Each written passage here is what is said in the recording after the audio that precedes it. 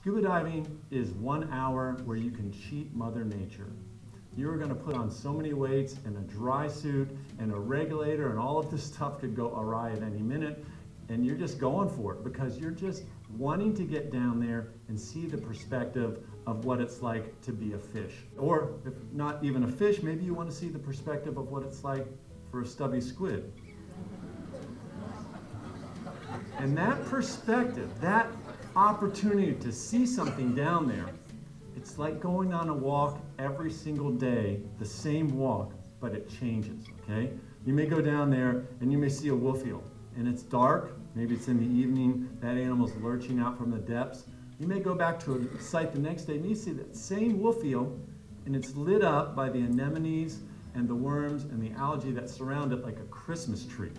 Or you may go back later, even on that same day, and that animal is out and about and it's hunting.